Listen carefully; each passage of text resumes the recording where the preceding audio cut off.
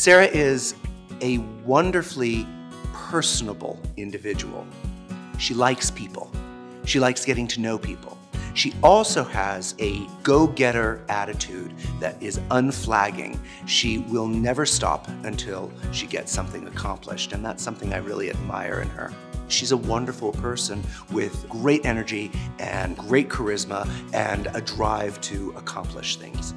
I love connecting with people and I love developing relationships and, and connecting with those who are passionate about the arts and those who are passionate about ballet.